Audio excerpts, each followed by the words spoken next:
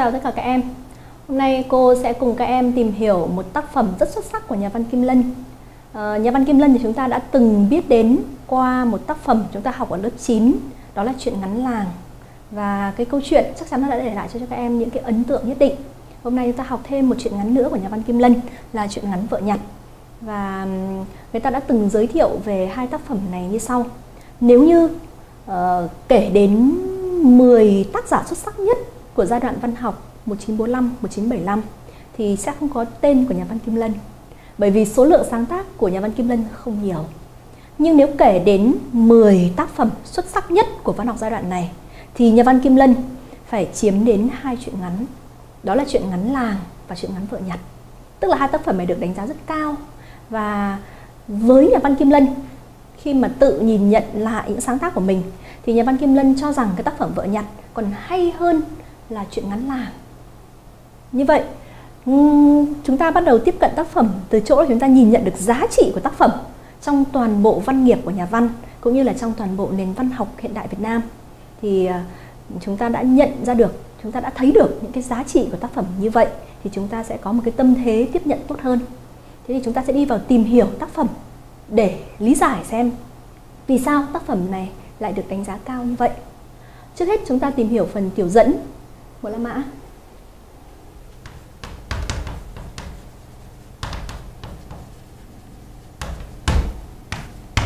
Trong phần tiểu dẫn như thông lệ, chúng ta sẽ bắt đầu đi vào tìm hiểu về nhà văn Kim Lân. Tác giả A nhỏ, cuộc đời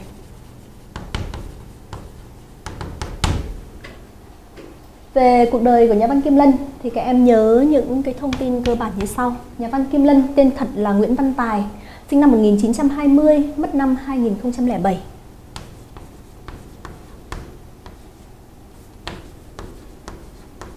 Tên khai sinh là Nguyễn Văn Tài.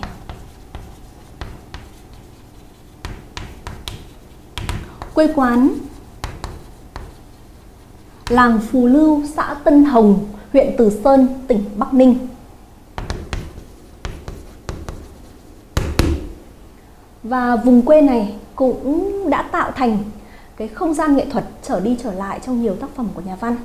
Ví dụ như trong tác phẩm Vợ nhặt này thì tác giả đã lấy nhiều địa danh của quê hương mình và cái không gian của quê hương của nhà văn ấy thì đã đi vào tác phẩm này, thực sự là đi đi vào tác phẩm này trở thành một cái không gian nghệ thuật rất là hấp dẫn, rất là đặc biệt. Một điểm nữa các em lưu ý cho cô về học vấn của nhà văn. Nhà văn chỉ học hết bậc tiểu học. Chỉ học hết bậc tiểu học. Rồi sau đó Thì phải lăn lộn kiếm sống bằng rất nhiều nghề. Ở đây, Kim Lân đã phải làm thợ. Thợ sơn guốc Thợ khắc tranh bình phong, Kiếm sống bằng những nghề ấy. Kiếm sống một cách rất chật vật. Và mãi sau này thì mới trụ lại với nghề viết văn. Và chính vì Kim Lân chỉ học hết có bậc tiểu học thôi, Cho nên có nhà văn đánh giá Kim Lân rằng với một cái vốn học vấn như vậy mà viết được những trang viết xuất sắc như vậy thì chắc chắn đó là do thần mượn tay người viết. Bởi vì cái trang viết này những cái trang viết của nhà văn Kim Lân ấy, nó quá xuất sắc so với vốn học vấn chỉ là hết bậc tiểu học. À, các em cũng ờ, lưu ý thêm cho cô một cái ý nữa về cuộc đời của nhà văn. Là Kim Lân từ năm 1944 đã tham gia Hội Văn hóa Cứu Quốc. Tham gia Hội Văn hóa Cứu Quốc.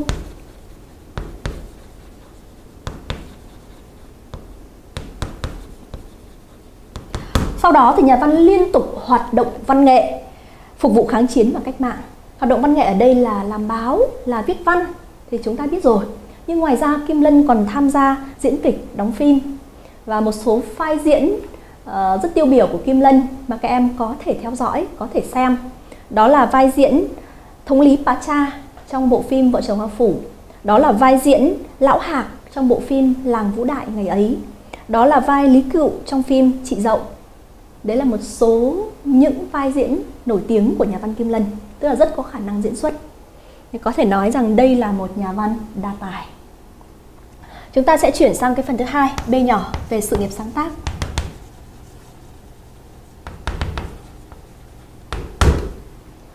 Sự nghiệp sáng tác của nhà văn Kim Lân thì ờ, các em sẽ có mấy lưu ý cho cô. Thứ nhất, đây là nhà văn chuyên viết truyện ngắn.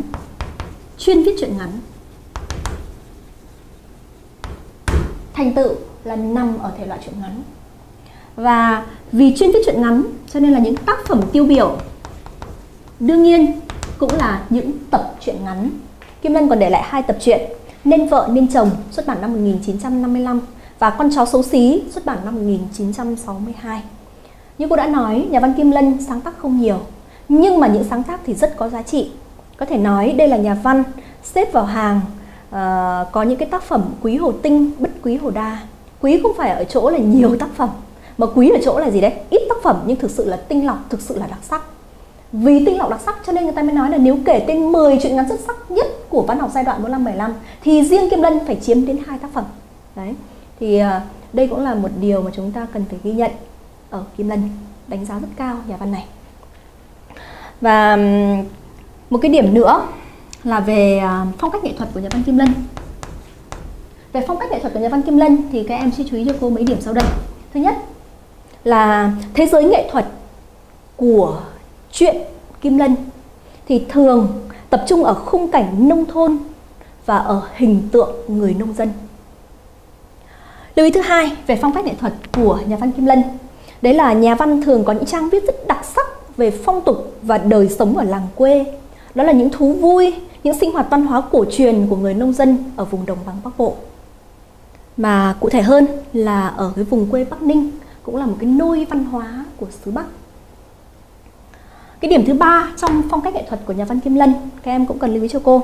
Đấy là nhà văn khi viết về người nông dân dưới lũy tre làng thì dù họ có nghèo khổ, có thiếu thốn nhưng bao giờ cũng sáng ngời. Những cái phẩm chất là yêu đời, thật thà, chất phác, hóm hình, tài hoa. Những người nông dân hiện lên trong trang viết của Kim Lân rất đáng yêu. Và với một cái sự nghiệp sáng tác như vậy thì nhà văn Kim Lân đã vinh dự được nhận giải thưởng nhà nước về văn học nghệ thuật năm 2001. Em nhớ giải thưởng nhà nước về văn học nghệ thuật năm 2001. Đây là giải thưởng rất cao quý chỉ dành cho những tác giả có những tác phẩm có giá trị, có đóng góp lớn lao đối với nền văn học của nước nhà. Chúng ta sẽ chuyển sang phần thứ hai, chúng ta giới thiệu về tác phẩm.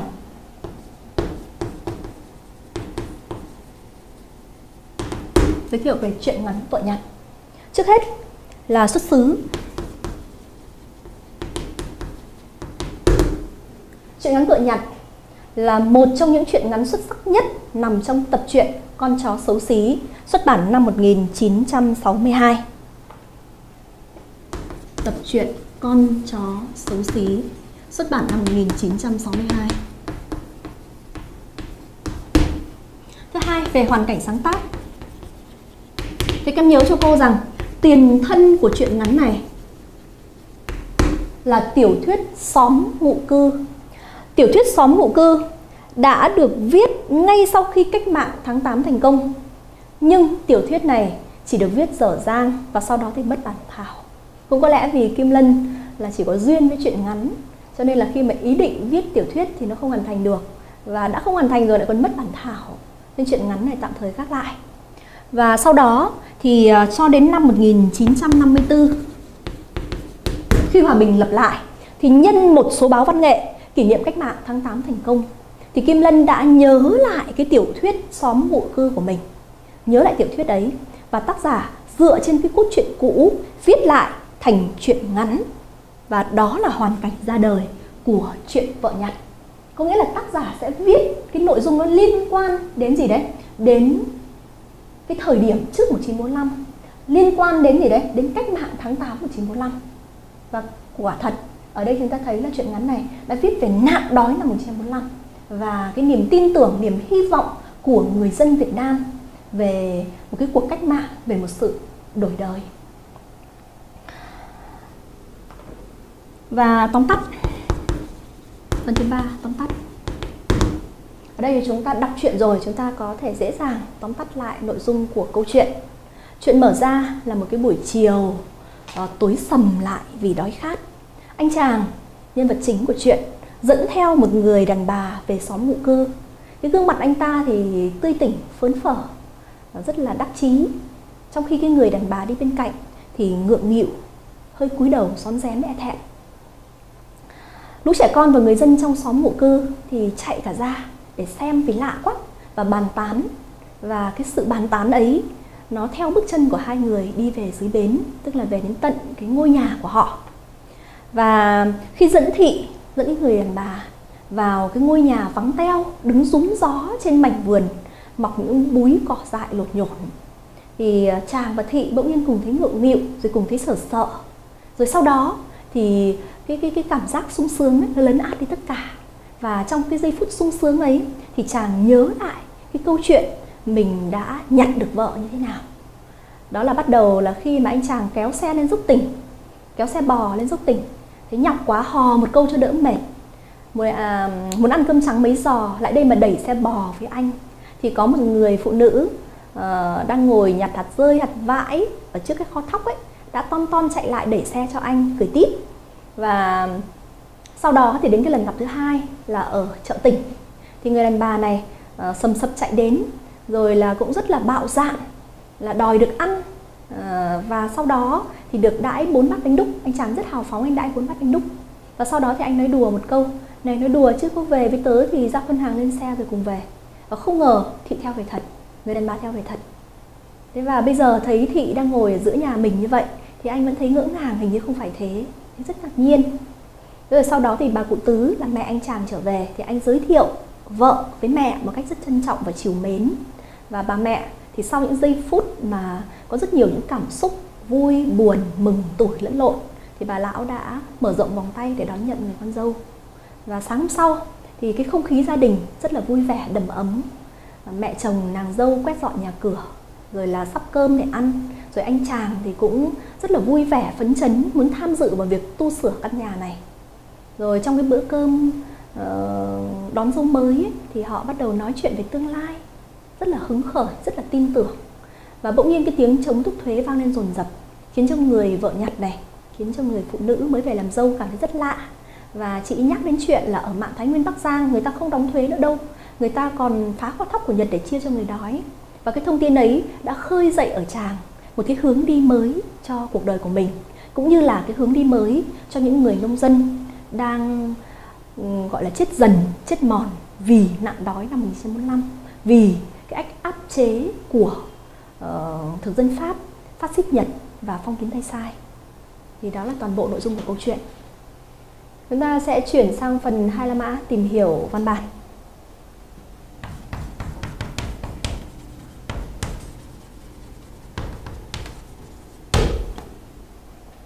À, trước khi đi vào tìm hiểu văn bản này thì cô muốn giới thiệu cho các em một chút về thời gian và không gian không gian nghệ thuật của chuyện. Tức là đấy là một cái bối cảnh nằm nền để từ đó chúng ta phân tích các nhân vật và chúng ta phân tích tình huống chuyện. Ở đây chính là cái bối cảnh, gọi là thời gian và không gian nghệ thuật của chuyện. Đây là thời gian nghệ thuật và không gian nghệ thuật. Cô ghi tắt.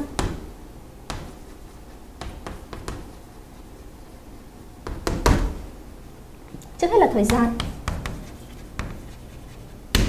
các em hãy lưu ý rằng đây chỉ là một cái phần nền thôi, chúng ta đừng xa đà nhiều quá khi mà chúng ta tiến hành phân tích nhân vật hay là phân tích tình huống chuyện.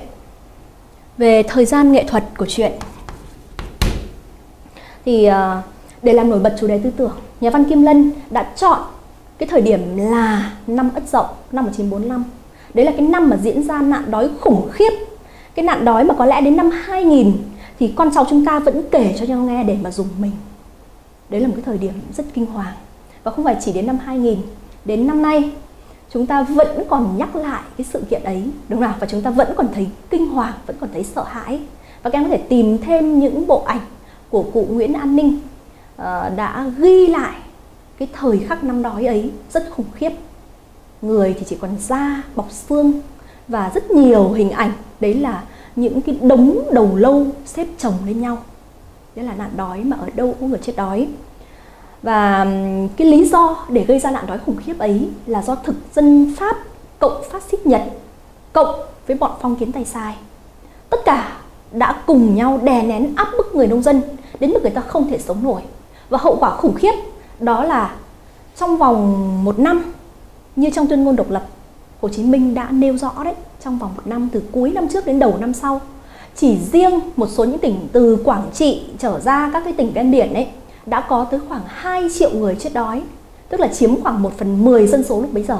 Thì các em tưởng tượng xem cái người chết nhiều như thế nào, chết như ngả dạ.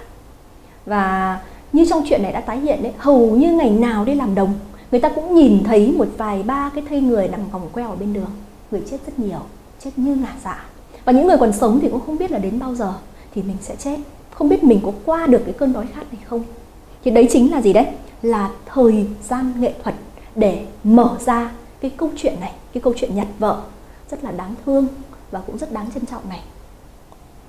Thứ hai là về không gian nghệ thuật.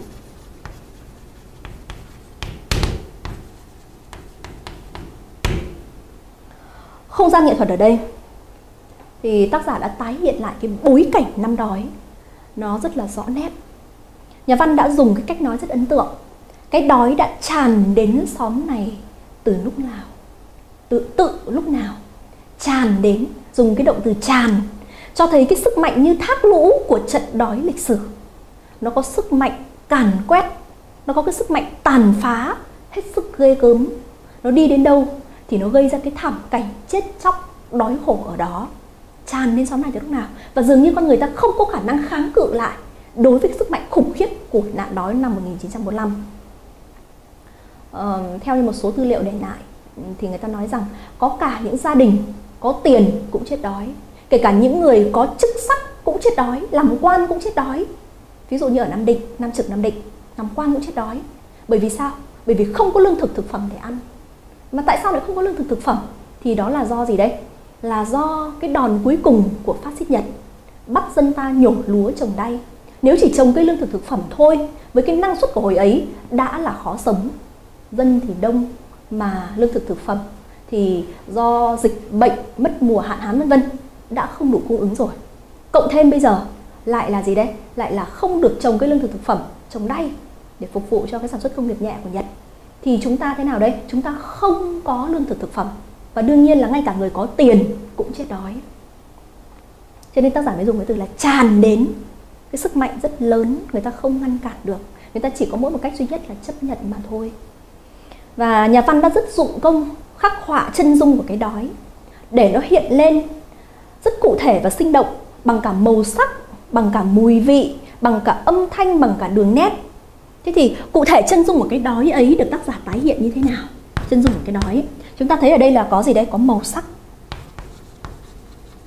Chân dung cái đói, hiện hình có màu sắc. Đó là màu xanh xám của da người sắp chết đói. Các em đọc cái đoạn văn mở đầu tác phẩm các em sẽ thấy cái chân dung này hiện lên rất rõ.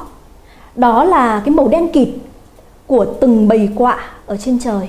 Mà nhớ rằng cái loài quạ này lại là loài vật gắn liền với sự chết chóc. Cái câu văn rất ám ảnh. Đàn quạ trên những cây gạo cao chót vót ngoài bãi chợ hốt hoảng bay vù lên, lượn thành từng đám bay vẩn trên nền trời như những đám mây đen. Đấy, màu sắc là màu xanh xám, là màu đen đen kịt, màu của chết chóc. Thứ hai là mùi vị cái mùi vị lẩn khuất xung quanh, đó là không khí vẩn lên mùi ẩm thối của xác rưởi và mùi gây của xác người. Và vì có cái mùi gây của xác người, cho nên người ta đã tìm cách là đốt đống giấm khét lẹt để xua đi mùi tử khí. Tất cả những cái mùi vị ấy, nó trộn lẫn vào nhau. Và đó cũng là mùi vị của chết chóc. Thứ ba, âm thanh. Âm thanh đó là âm thanh của tiếng quạ trên mấy cây gạo, ngoài bãi chợ cứ gào lên từng hồi thê thiết. Đó là âm thanh của tiếng hờ khóc vẳng ra từ những nhà có người chết đói. Vậy thì âm thanh tiếng quạ hay là âm thanh tiếng hờ khóc cũng lại là âm thanh gắn liền với sự chết chóc. Đấy, các em thấy là màu sắc gắn liền với chết chóc, mùi vị gắn liền với chết chóc, âm thanh cũng gắn liền với chết chóc và cả đường nét nữa.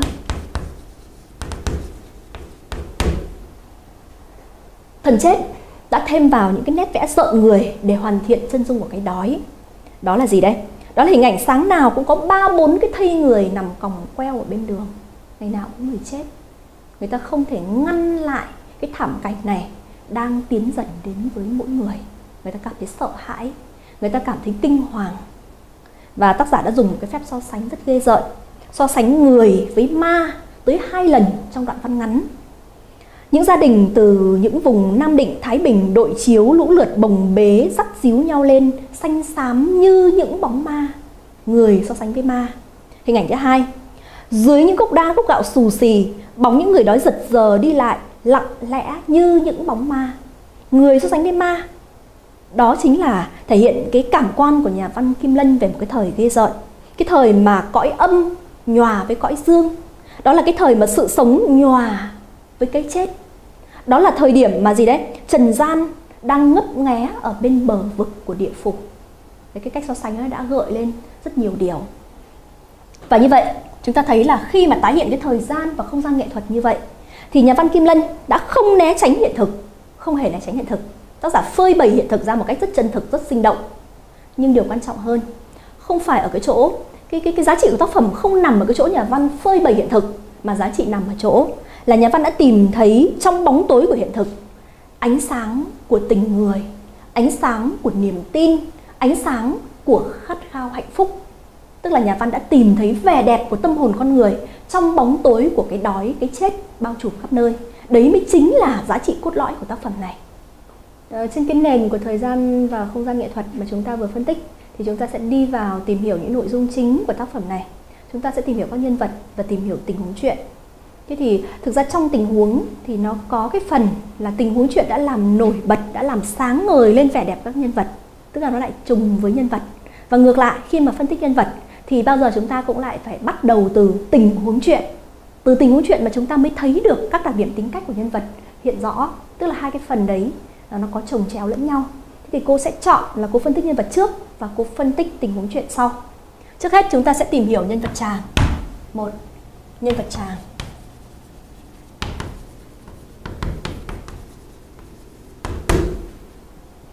Và ở tác phẩm này thì ờ, khi phân tích nhân vật thì chúng ta thường là chúng ta cũng không tuân thủ được cái công thức truyền thống. Bởi vì đây chủ yếu là chúng ta phân tích diễn biến tâm trạng. Chủ yếu là diễn biến tâm trạng của nhân vật. Bởi vì nhân vật thể hiện ở đây chủ yếu là thể diễn biến tâm trạng của mình. Nên chúng ta không, cho nên chúng ta sẽ không dùng lại cái công thức là phân tích nhân vật truyền thống như chúng ta đã phân tích các nhân vật khác từ trước đến giờ. Thế thì với nhân vật chàng chúng ta sẽ bắt đầu. A nhỏ địa điểm thứ nhất. Chúng ta cũng vẫn giới thiệu chân dung lai lịch.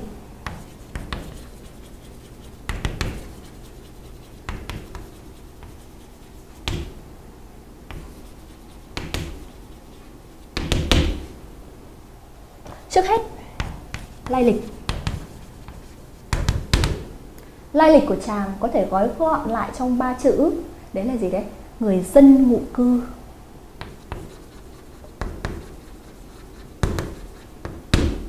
Gói gọn trong ba chữ, nhưng ba chữ này lại diễn tả rất nhiều điều. Dân ngụ cư là thế nào? Là trôi giạt từ một vùng quê khác đến đây gọi là tha phương cầu thực. Nghĩa là không sống nổi ở quê mình, phải tìm đến một vùng đất khác.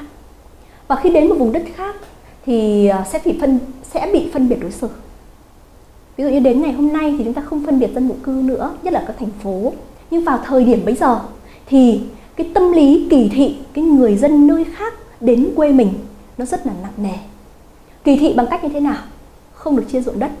Những người dân ngụ cư không được chia ruộng đất mà ruộng đất ở thời điểm bấy giờ là tài sản lớn nhất của người nông dân, là nguồn sống gọi là ổn định nhất của người nông dân, nguồn sống quan trọng nhất của người nông dân. Vậy thì không được chia ruộng đất tức là thế nào đấy? Tức là rất nghèo, không tài sản, rất nghèo.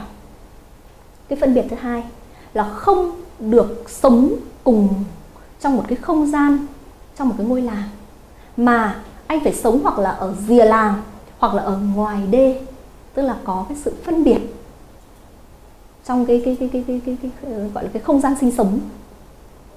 Cái phân biệt thứ ba là người dân hộ cư không được tham gia bất cứ một sinh hoạt cộng đồng nào của làng xã. Anh chỉ là dân hộ cư thôi anh không phải là người dân địa phương. Anh không thực anh không được phép tham gia những cái sinh hoạt cộng đồng như vậy. Và chính vì cái tâm lý gọi là bị kỳ thị bị phân biệt đối xử như vậy cho nên là dân gian đã đúc lại thành một câu ca để nhắc nhở nhau. Ví dụ, trai làng ở hóa còn đông, cứ sao em lại lấy chồng vụ cư? Tức là thà lấy những cái người ở hóa, những người chết vợ, còn hơn là lấy người ngụ cư.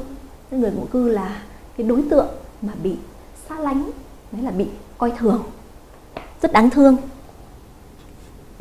Đây cũng là một cái lai lịch được gọi là gì đấy? Được gọi là thảm hại nhưng mà nhớ là đặt vào bối cảnh ngày xưa thôi, còn ngày hôm nay thì khác rồi. Các em cố gắng đặt mình vào bối cảnh ấy, hiểu được cái văn hóa của thời ấy để mình hiểu được nhân vật. Thứ hai là gia cảnh. Tất nhiên cái gia cảnh này thì nó có liên quan đến lai lịch. Dân ngụ cư không có ruộng đất đương nhiên là nghèo rồi. Đấy, cho nên là cái gia cảnh ở đây có thể gói gọn trong một chữ, nghèo. Nghèo lắm. Gia đình thì chỉ có mẹ quá con côi.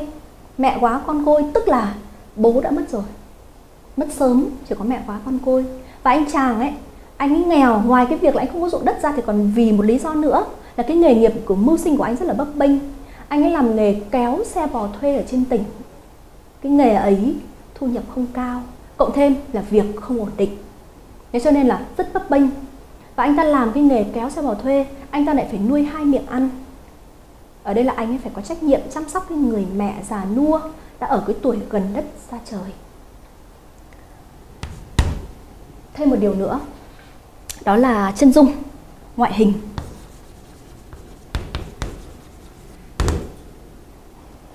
Ở phần đầu của truyện thì tác giả đã miêu tả chàng với những đường nét thô kệch, giống như là một sự gọt đẽo sơ sài của tạo hóa.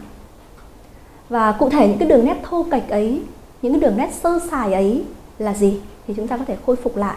Thực ra đầu đoạn trích này đã bị lược mất một đoạn rồi hai mắt nhỏ tí, gà gà đắm vào bóng chiều. Hai bên quai hàm bạnh ra, thân hình to lớn vập vạp. Anh ta lại còn có cái tật vừa đi vừa làm nhảm những điều mà mình nghĩ. Lẽ ra chỉ nghĩ trong đầu thôi thì làm nhảm ra miệng. Khi cười thì thường ngửa mặt lên trời cười hình hạch.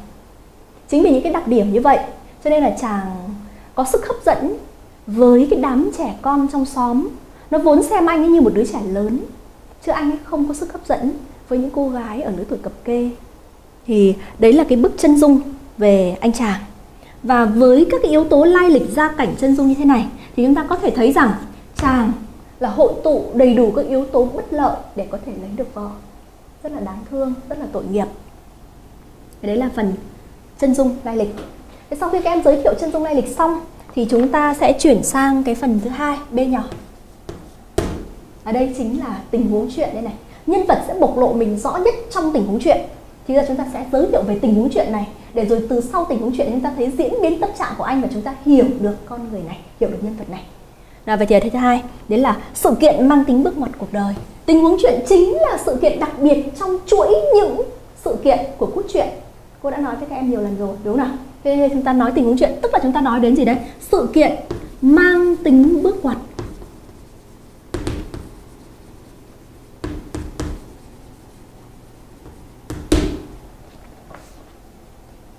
Mang tính bước ngoặt cuộc đời. Sự kiện đấy là gì? Sự kiện đấy nằm trong nhan đề này, vợ nhặt. Tức là anh chàng anh ấy nhặt được vợ. Chàng nhặt vợ từ nhặt cho nó một cách chàng nhặt vợ.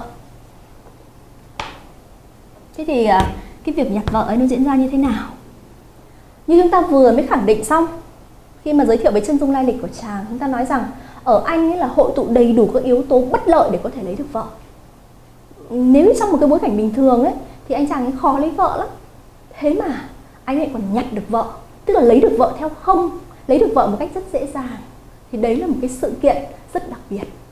Thế thì cái câu chuyện nhặt vợ diễn ra như thế nào? Chúng ta có thể tái hiện lại cái câu chuyện này. Ban đầu, chàng đến với vợ không phải xuất phát từ tình yêu. Không có tình yêu ở đây ban đầu đến với thị, chúng ta gọi luôn cái người vợ nhặt này là thị, theo đúng cái cách gọi trong văn bản. Ban đầu chàng đến với thị là từ một cái câu đùa vui của tuổi trẻ. Trai chưa vợ, gái chưa chồng. Rồi là khi mà anh ấy đang kéo xe bò lên dốc tỉnh, anh ấy mệt quá, anh ấy hò một câu cho đỡ mệt. Hò để tạo nhịp phối hợp với động tác lao động để mình đỡ mệt hơn.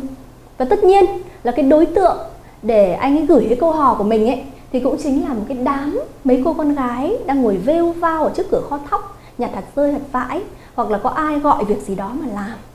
Nhìn mấy cái cô gái đang ngồi như thế đấy thì anh cũng lại đang mệt nữa anh hò một câu anh không chủ tâm chồng ghẹo cô nào cả. Muốn ăn cơm trắng mấy giò lại đây mà đẩy xe bò với anh. Thế và không ngờ sau câu nói đùa ấy thì mấy cô gái kia bắt đầu đùn đẩy nhau và đẩy ra một cô ả. À. cô ả à, ton ton chạy lại đẩy xe cho chàng liếc mắt cười tít và chàng từ thuở cha sinh mẹ đẻ đến giờ thấy có người cười với mình một cái cách tình tứ như vậy, thì anh ta cũng thích chí lắm. Nhưng mà giờ cũng chỉ dừng lại ở đấy thôi. Đấy là lần gặp thứ nhất. Và nhớ là cái điểm xuất phát ở đây chỉ là gì thôi? Chỉ là những cái câu bông đùa thôi. Những cái câu bông đùa của tuổi trẻ thôi. Đến à, cái lần gặp gỡ thứ hai, thì lúc này nó không còn thuần túy chỉ là bông đùa nữa, nhưng nó cũng chưa phát triển đến thành tình yêu. Lần gặp thứ hai thì ờ, đó là sự chia sẻ giữa những người đồng cảnh. Tức là đều là những người nghèo đều là những người đang đối mặt với cái chết và không biết là mạng sống của mình còn có thể duy trì được đến bao giờ. Không ai dám chắc là mình có sống qua được cơn đói khát này hay không. Thế thì cái đồng cảnh nó diễn ra như thế nào? Là đây là lần gặp thứ hai. Khi mà anh đang ngồi uống nước ở cái quán nước ấy thì thị ở đâu sầm sập chạy tới rồi bắt đầu là uh, nói năng một cách rất là rằn rỗi, điêu người thế mà điêu, hôm trước leo lẻo cái mồm hẹn xuống thế mà mất mặt, vân vân. Thế thì anh cũng lại đùa tiếp, chả mấy thì hôm nay vậy, ngồi xuống đây đã, ngồi đây ăn dầu. Thì chị trả lời là, ăn gì thì ăn, chả ăn dầu. Thì anh ấy lại ở mờ mà ừ đấy, ăn gì thì ăn. Thế là chị nói là, ăn thật nhá. Thế là chị xà xuống ăn liền một chặp, bốn mắt bánh đúc không chuyện trò gì. Thế thì ở đây chúng ta phải thấy là gì đây? Anh ấy là từ cái sự đồng cảnh ấy. Anh nhìn thấy thị hôm nay là mặc quần áo thì tả tơi như tổ đỉa. Hôm nay thị rách quá, quần áo tả tơi như tổ đỉa. Nhìn rất thảm hại. Rồi là trên khuôn mặt lưỡi cầy xám xịt chỉ còn thấy hai con mắt. Nghĩa là thần chết đã bắt đầu vẽ những nét vẽ đầu tiên trên gương mặt của người phụ nữ đáng thương này rồi. Nhìn cái tình cảnh ấy, có nghĩa là cái chết đang bắt đầu đến gần nó cũng phần nào khiến chúng ta nhớ lại hình ảnh của nhân vật A Phủ trong tác phẩm Vợ chồng A Phủ. Sau mấy ngày bị trói, không ăn không uống, kiệt sức ấy, thì chúng ta thấy là gì đây? Hai dòng nước mắt lấp lánh, bò xuống hõm má đã xám đen lại của A Phủ. Đấy cũng chính là gì? Những cái nét vẽ đầu tiên của thần chết trên gương mặt của A Phủ. Thì bây giờ chúng ta thấy là gì? Trên khuôn mặt lưỡi cầy xám xịt, chỉ còn thấy hai con mắt. Đấy cũng lại là những nét vẽ đầu tiên của thần chết đấy.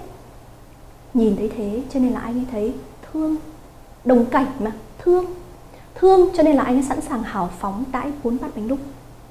Và đặt vào bối cảnh lúc bấy giờ, vào cái năm đói 1945 như vậy, tâm điểm của nạn đói như vậy, thì chúng ta thấy rằng cái vấn đề miếng ăn ấy, nó đã trở thành vấn đề mạng sống của con người. Vậy mà anh sẵn sàng hào phóng đãi một người lạ, cho thấy anh là người rất nhân hậu, phải không nào? Đấy thì ở đây là cái sau đó sau cái bông đùa ấy, cái lần gặp thứ hai đấy là gì đấy? Là sự thương cảm thương cảm. Và nó cũng chỉ dừng lại ở tình thương thôi. Thế nhưng rồi sau đó, sau khi chị ăn no xong rồi cái câu chuyện đẩy đưa nó đến một cái kết cục mà anh cũng rất bất ngờ. Ăn xong rồi thì chị ờ, tiện thể chị hỏi một câu. Về chị ấy thấy hụt tiền thì bỏ bố. Thì anh ấy cũng trả lời là, làm đất chỉ có vợ. Thế xong rồi anh ấy nói thêm một câu, đùa nhé lại là một câu đùa. Này, nói đùa chứ, có về với tớ thì ra phân hàng lên xe rồi cùng về nói đùa một câu ấy thôi, và chắc chắn cái câu đùa ấy với bất kỳ một người phụ nữ nào thì người ta chỉ cười xòa. Nhưng mà riêng chị này thì chị bám lấy cái câu đấy đùa chị theo về thật.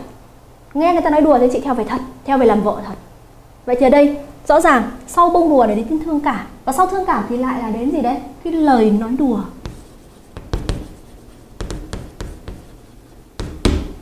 Chị theo về thật. Và khi mà chị theo về thật, thì anh này ban đầu anh cũng trợn. Trợn, tức là sợ đây là cái chữ dùng địa phương, cái từ địa phương đấy chợt nghĩ là gì đấy? Giữa lúc thóc cao, gạo kém thế này, nuôi thân mình còn chưa nổi, lại còn đèo bòng anh cũng sợ lắm. Mình không biết là mình có nuôi nổi mình không. Thế mà bây giờ lại còn lấy vợ vào, nuôi vợ, rồi tương lai lại còn nuôi con nữa. Không biết là có có có kham nổi không? Anh cũng sợ. Nhưng mà cái sợ ấy thoáng qua thôi. Sau đó, anh lấy lại thăng bằng rất nhanh. Và anh tặc lưỡi chập kệ kệ, tức là đánh liều, đưa thị phải làm vợ. Thì à, cái phần này chúng ta sẽ phân tích thêm ở sau. Nhưng mà như vậy rõ ràng ta khẳng định rằng chúng, nhân vật chàng với thị ấy, khi mà đến với nhau ấy, xuất phát điểm không phải là bằng tình yêu, mà đây hầu như là gì đấy? Là bông đùa, là thương cảm, là lời nói đùa. Thế thôi, thế mà hai người nên duyên vợ chồng. Đấy là sự kiện anh chàng nhặt vợ. Tức là lấy vợ một cách thế nào đấy? Rất dễ dàng. Vợ theo không? Mà chị này chị đồng ý lấy anh này. Chị chẳng cần phải tuân thủ theo các thủ tục lễ nghi cưới hỏi. Chị cũng chẳng cần phải dò hỏi ngọn nguồn lạch sông. Như trong chuyện kiều đã viết là trăm năm tính cuộc vuông tròn phải dò cho đến ngọn nguồn lạch sông. Chị không quan tâm. Chị thấy anh nói đùa thế chị theo về thật thôi. Anh này lấy vợ một cách rất dễ dàng cho nên mới gọi là gì? Nhặt vợ. Đấy, và sau cái sự kiện nhặt vợ này thì chúng ta sẽ thấy cái diễn biến tâm trạng của anh chàng. Nó có rất nhiều những cái cái cái nỗi niềm đan xen ở trong đó và từ cái diễn biến tâm trạng này mà chúng ta thấy được vẻ đẹp tâm hồn của nhân vật. Thế các em chuyển sang phần C. Diễn biến tâm trạng. Nhớ là cái diễn biến tâm trạng này nó gắn liền với sự kiện anh ta nhặt vợ.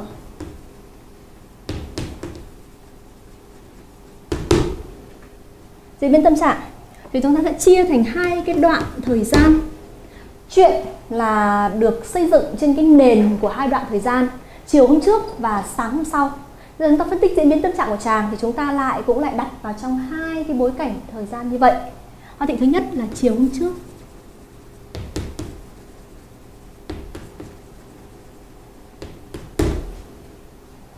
Thế thì chiều hôm trước diễn biến tâm trạng của anh chàng như thế nào? Chúng ta sẽ bám vào bốn cái đoạn sau đây. Thứ nhất là trước khi dẫn nhau về.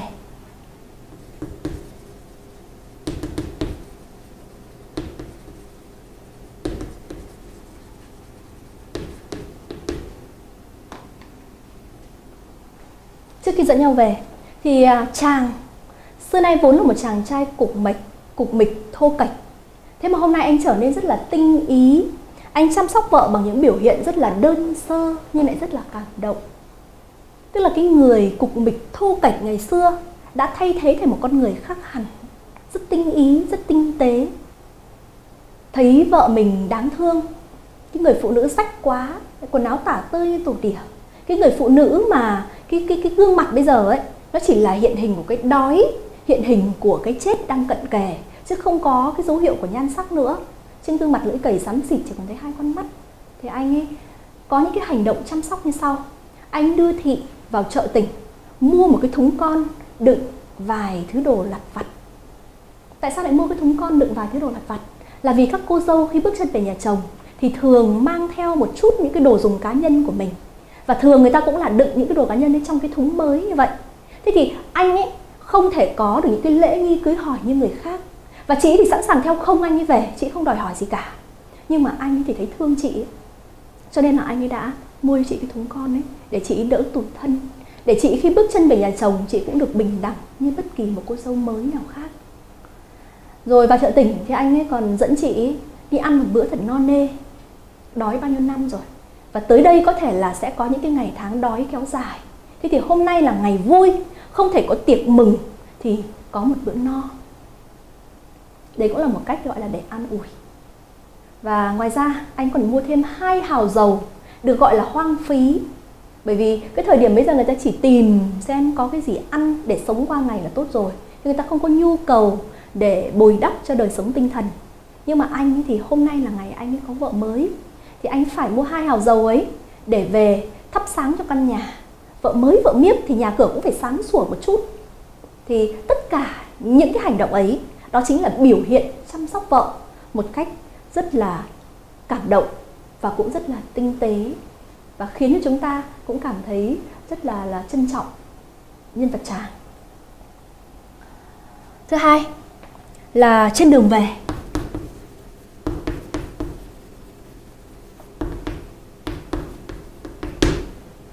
thì có tới gần 20 lần tác giả đã miêu tả cái gương mặt vui vẻ, tươi tỉnh của chàng. Mặt hắn có một vẻ gì phớn phở lạ thường. Hắn tủm tỉm cười nụ một mình và hai mắt thì sáng lên lấp lánh. Các em bám vào một số từ láy nhé. Phấn phở, tủm tỉm, sáng lên lấp lánh. Cái niềm vui mà nó trào ra thể hiện ở trên tất cả những cái nét mặt điệu bộ cử chỉ.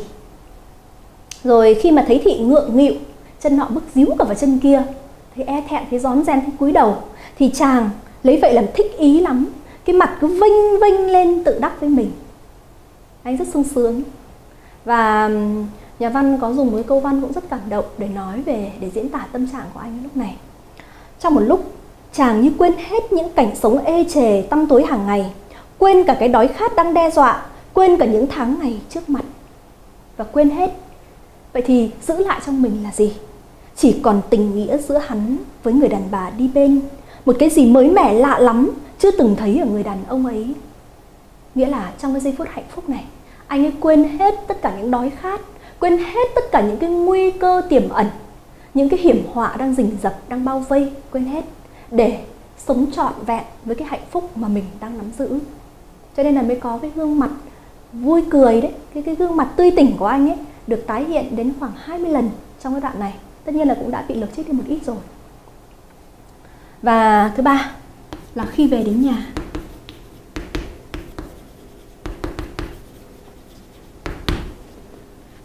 Lúc đầu thì chàng cũng giống như thị. Cả hai bỗng cùng ngượng nghịu. Đấy là câu văn của nhà văn kim lân đấy. Cả hai bỗng cùng ngượng nghịu. Ngượng là đúng bởi vì cái thời gian quen biết chưa lâu cái thời gian gặp gỡ rất là ít cái sự hiểu biết về nhau ấy cái sự quen biết ấy, nó chưa đủ độ chín để hai người có được cái sự thân tình. Vừa nãy là ở không gian rộng thì họ không ngại nhưng bây giờ vào cái không gian hẹp này chỉ còn hai người với nhau thì họ cảm thấy ngượng nghịu. Ngượng nghịu sống hổ với nhau và chàng cứ đứng tây ngây ra giữa nhà một lúc chợt hắn thấy sợ sợ ngượng và rồi đến mức mà nó đẩy lên thành gì đấy thành sợ chợt thấy sợ sợ cái nỗi sợ nó thoáng qua. Cái nỗi sợ ấy nó nó nó nó, nó như vô hình. Nó đang chấn áp trong trong cái cảm giác của anh ấy. Nhưng mà rồi ngay sau đó thì anh ấy uh, xua tan cái cảm giác ấy rất nhanh. Xua tan cái cảm giác rất nhanh và cái hạnh phúc ấy nó gọi là nó nó lấn át nó chiếm giữ tâm hồn anh ấy. Anh ấy tủm tỉm cười một mình.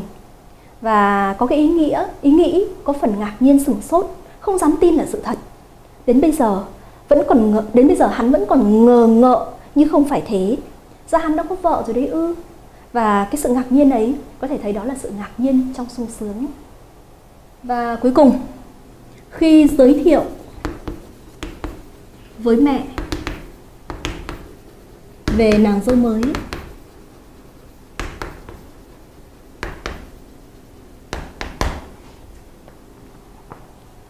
Chúng ta thấy là chàng rất là sốt sắng chờ mẹ về để giới thiệu và cũng là để chờ đợi cái sự phán quyết cuối cùng của mẹ.